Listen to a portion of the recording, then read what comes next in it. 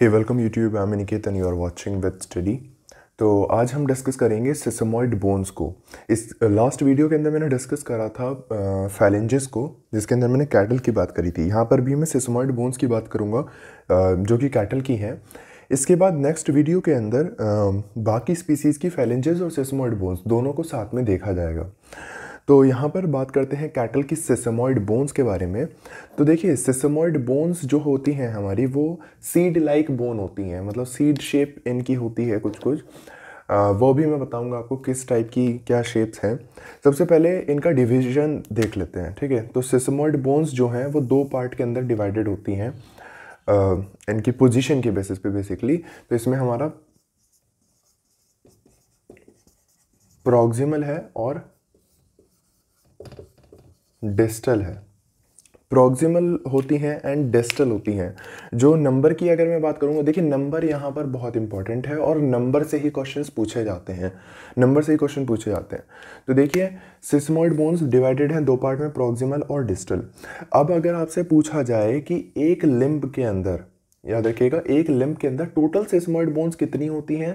Cattle के अंदर तो वो नंबर है सिक्स अब इस सिक्स में से फोर तो हमारी क्या होती हैं? प्रॉक्सिमल और टू हमारी क्या होती हैं? डिस्टल तो ये एक लिम्ब की मैं बात कर रहा हूँ। ठीक है? इसके बाद डिजिट के बारे में पूछा जाएगा तो वो मैं अभी आपसे बात करूँगा आगे। तो ये प्रॉक्सिमल हो गया डिस्टल हो गया। तो सबसे पहले हम देखते हैं कि इनकी जो पोजीशन है मतलब सिचुएटेड कहाँ पर होती हैं? दोनों के बीच में डिफरेंस की तरह आप बना लीजिएगा। डिफरेंस की तरह हम देखेंगे। तो सिचुएटेड कहाँ पर होती हैं? प्रॉक्सिमल इन इन बोन्स को मैं लास्ट में आपको शो करूँगा वीडियो के। अभी क्योंकि ये नंबरिंग की यहाँ पे ना बहुत नंबरिंग का ही खेल है। तो इसी वजह से मुझे यहाँ पर पहले आपको ऐसे समझाना पड़ेगा। तो प्रॉक्सिमल की बात करते हैं तो यहाँ पर ये जो बोन है प्रॉक्सिमल बोन है प्रॉक्सिमल सिस्मोइड बोन्स ये हमारी आर्टिकुलेट करती हैं किससे? जैसे कि मैंने आपको बताया था कि लार्ज मेटाकार्पल लार्ज मेटाकार्पल ठीक है, और किसके बीच में? फ़र्स्ट फैलिंग्स के बीच में। फ़र्स्ट फैलिंग्स के बीच में। ठीक है उस जगह पर ये हमारी प्रॉक्सिमल सिस्मोइड बोन्स प्रेजेंट होती हैं। लार्ज मेटाकार्पल और फ़र्स्ट फैलिंग्स के बीच में। अब देखिए लार्ज मेटाकार्पल का भी कौन सा फेस पर प्रेजेंट होंगी बेसिकली तो लार्ज मेटाकार्पल के भी पोस्टीरियर एस्पेक्ट पर प्रेजेंट होंगी ठीक है? डिस्टल एंड के पोस्टीरियर एस्पेक्ट पर। अब मान लीजिए ये हमारी लार्ज मेटाकार्पल बोन है। तो इसका आ, ये तो क्या हो गया? प्रॉक्सिमल एस्पेक्ट ठीक है? क्योंकि अगर ऊपर बॉडी है और ये हो गया डिस्टल एस्पेक्ट तो डिस्टल जो डिस्टल एंड है इसका, ये प्रॉक्सिमल एंड हो गया डिस्टल एंड हो गया तो डिस्टल एंड के पोस्टीरियर एस्पेक्ट पर प्रेजेंट होगा, ठीक है? मान लीजिए ये ये बोन है, ठीक है? और ये इसका प्रॉक्सिमल एस्पेक्ट हो गया, ये डिस्टल एस्पेक्ट हो गया, और ये एंटीरियर जो आपको फेस दिख रहा है, ये है। तो ये पोस्टीरियर वाले पे हमारी प्रेजेंट होंगी डिस्टल एंड पर, ठीक है? तो अब आपको ये चीज़ समझ में आ गई होगी कि प्रॉक्सिमल सिस्मोइड बोन्स प्रेजेंट कहाँ पर होती हैं। अभी मैं आपको इमेज में भी शो करूँगा। इसके अलावा, अगर मैं बात करता हूँ डिस्टल की तो डिस्टल जो है, ये हमारी ट्रांसवर्सली स्लाइटली ट्रांसवर्सली ये हमारी सिचुएटेड होती हैं। और इनकी अगर मैं पोजीशन की बात करूँ तो ये हमारे सेकंड एंड थर्ड फैलिंग्स के बीच में प्रेजेंट होती हैं। सेकेंड एंड थर्ड फैलिंग्स के बीच में प्रेजेंट होती हैं डिस्टल सेसमॉइड बोन्स ठीक है तो ये दोनों का पोजिशन आपने देख ली। इसके अलावा अब हम इनका नंबर देख लेते हैं। तो अगर मैं बात करता हूँ, देखिए, नंबर की तो प्रॉक्सिमल मैं, ये चीज़ आपको और समझ में आएगी जब मैं आपको इमेज दिखाऊँगा। बट फिर भी मैं आपको बता देता हूँ, यहाँ पर मैंने टोटल कितनी बताई आपको? प्रॉक्सिमल फोर राइट तो फोर बताई और अगर मैं डिजिट की बात करूँ तो जो रूमिनेंट्स हैं, उनके अंदर हमारी जो डेवलप्ड डिजिट्स मैंने आपको बताई थी, वो कितनी बताई थी? दो बताई थी। तो चार प्रॉक्सिमल रो हैं और दो पार्ट में डिवाइड करनी है। तो दोनों के पास कितनी कितनी जाएँगी? दो तो जाएँगी। तो इसी वजह से प्रॉक्सिमल रो में हमारी ये दो प्रेजेंट होती हैं।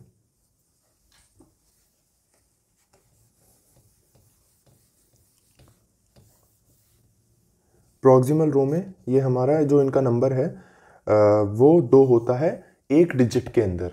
ठीक है? एक डिजिट के अंदर। याद रखिएगा।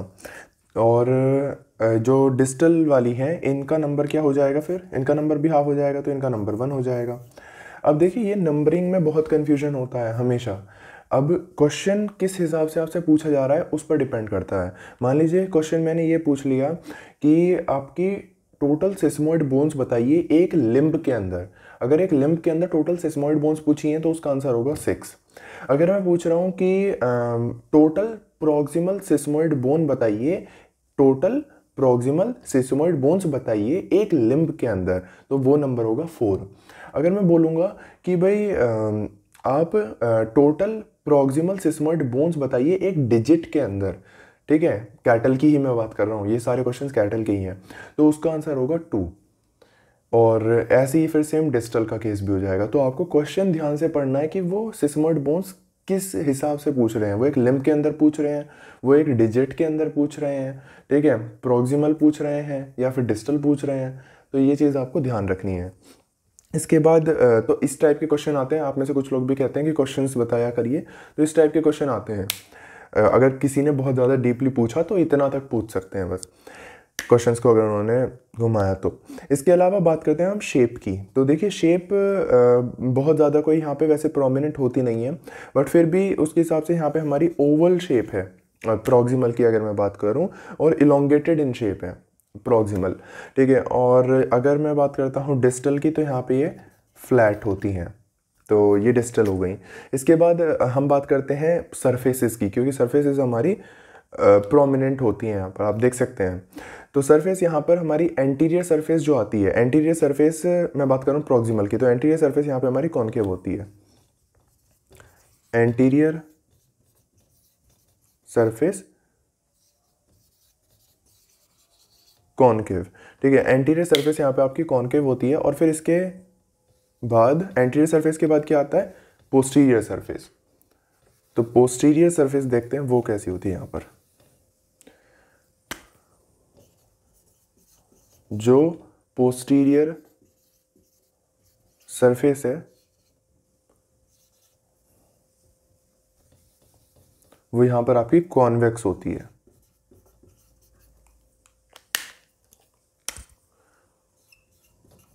कॉन्वेक्स ठीक है? फिर तो अब यहाँ पर आपकी जो प्रोक्सिमल सिस्मर्ड बोन्स हैं, वो फिनिश होती हैं। अब दोनों सरफेसेस की बात कर लेते हैं डिस्टल के अंदर भी। तो डिस्टल के अंदर जो आपकी एंटीरियर सरफेस हो जाएगी एंटीरियर एंटीरियर सरफेस जो आपकी हो जाएगी, ठीक है? एंटीरियर सरफेस कैसी हो जाएगी? यहाँ पर आपकी कॉन्वेक्स हो जाएगी। एंटीरियर सरफेस कॉन्वेक्स हो जाएगी। देखिएगा, ये चीज़ याद रखिएगा, यहाँ पर पोस्टीरियर सरफेस कॉन्वेक्स थी, यहाँ पे एंटीरियर सरफेस कॉन्वेक्स हो जाएगी। और यहाँ पर अगर मैं बात करता हूँ पोस्टीरियर सरफेस की तो यहाँ पर पोस्टीरियर सरफेस आपकी फ्लैट हो जाएगी। ठीक है, यहाँ पर कॉनकेव नहीं है।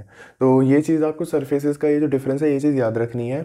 अब दोनों ही सरफेसेस पर एक मिडल मिड लाइन में एक रिज प्रेजेंट होती है, एक लाइन टाइप प्रेजेंट होती है दोनों में ही डिस्टल के अंदर, ठीक है? प्रोक्सिमल के अंदर नहीं डिस्टल के अंदर। तो इसी के साथ आपकी ये डिस्टल बोन्स जो है, ये भी ख़त्म होती है। मैं इसमें जो क्वेश्चन आते हैं ना बेसिकली मेन क्वेश्चन इसमें फोकस होता है नंबरिंग के ऊपर। तो नंबरिंग जो मैंने आपको बताई है, वो चीज़ आप याद रखिएगा कि अगर एक लिम्ब के अंदर पूछा गया, एक लिम्ब के अंदर पूछा गया तो नंबर है सिक्स ठीक है?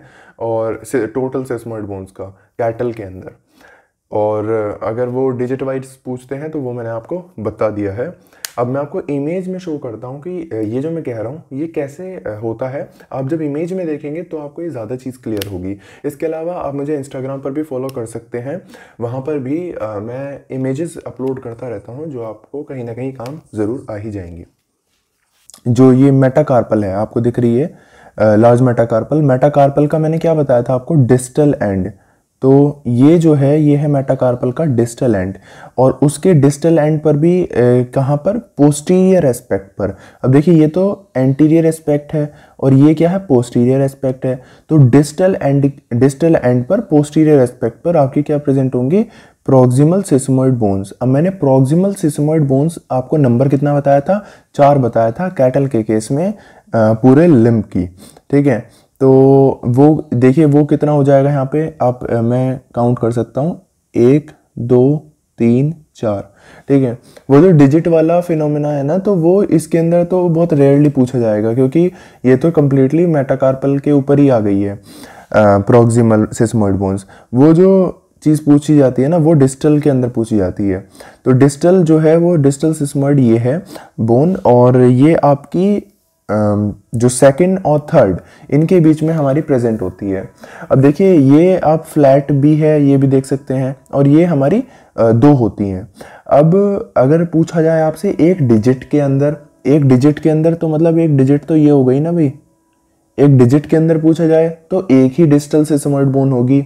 और अगर पूछा जाए एक लिम्ब के अंदर, एक लिम्ब मतलब कि ये दोनों कंबाइंड तो फिर हमारी दो से समर्ट बोन्स हो जाएँगी।